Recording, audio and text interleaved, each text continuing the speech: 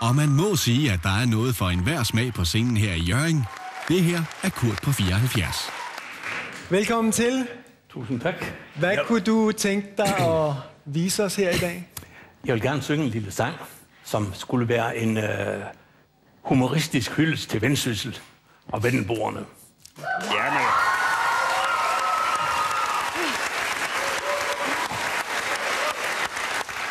Oppe i vendsyssel er der så skønt, sandet er hvidt og landet grønt. Og enten du hedder Jean eller Thor, tager vi imod dig som en bror.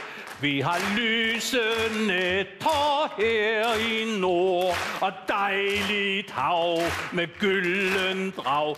Vi har bakker og det kolde bord, og glæd dig, kære bror.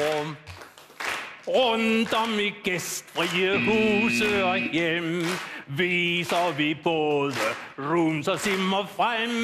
Priserne får du på klingende tysk, men de er regnet ud på jysk. Hyg dig i vendsyssel her.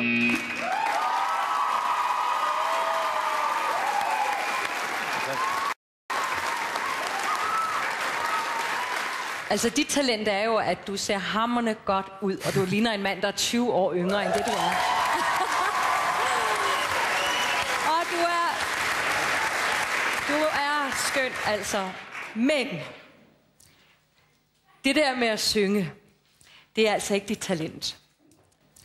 Jamen, jeg er jo selvfølgelig glad for os at uh, se, at jeg ikke er den ældste i salen, trods alt, med min 52 sommer.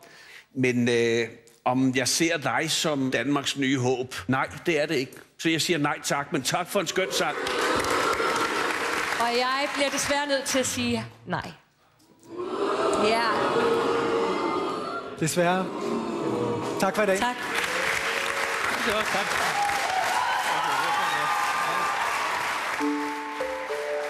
Ah, du er en barsk fyr, Olbæk. Jeg skal lære nogle af dine hårde tricks der. Ja, men han har et pointe.